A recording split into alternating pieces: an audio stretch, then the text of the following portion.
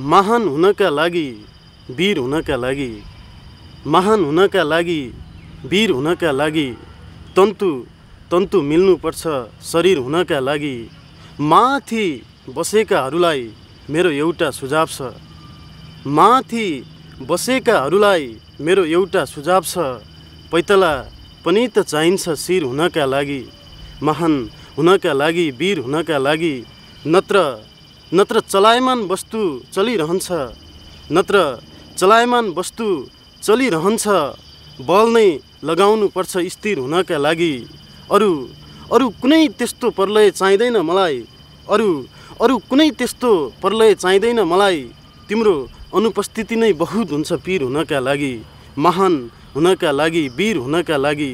तन्तु तन्तु मिल्नुपर्छ शरीर हुनका लागि।